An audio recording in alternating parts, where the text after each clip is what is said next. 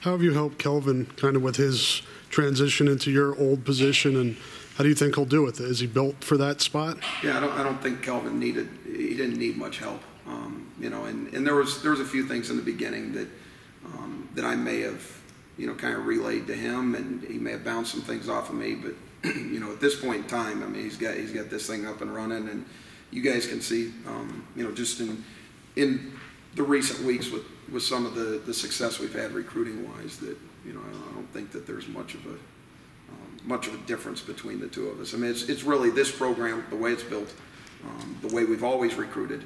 You know, it's just, you know, Kelvin and his leadership and, you know, his, his instruction to our staff in, in terms of the way that, that we maneuver through it. globally, um, recruiting expenses have skyrocketed in the last three to four years. What did you see the changes, uh, not just territorial, but necessarily what what technological or, or those types of changes have made that, that have allowed those expenses to grow for everybody, not just at Iowa?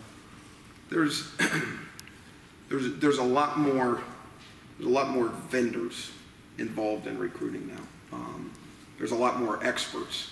There's a lot more um, people out there that are selling to, to us as a staff to universities across the country that they can minimize, you know, the, the workload, you know, so to speak. They can start to pare it down for you, which it is helpful, you know, because there is a lot out there. Now, we're a little bit different. We don't recruit nationally. Um, you know, we, we have our areas, we have our niches. That's where we go to find guys.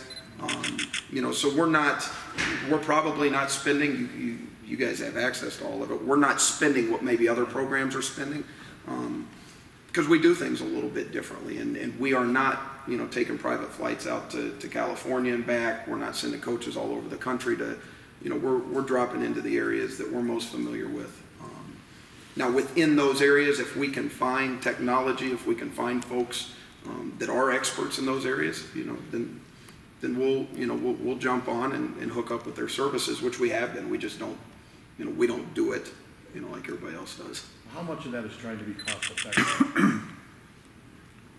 Um, I, I would say, I would say a good deal of it. You know, it, it, it is cost effective. I mean, you can, you can, you know, you, you've got, you've got choices. You can spend it that way, or you can have a room full of ten guys that are in, the, you know, in, in behind the, the wall behind you that are, you know, watching tape and they're trying to narrow it down for you. So to me, it, it's all about how you spend your money. Do you spend your money paying those folks to do that?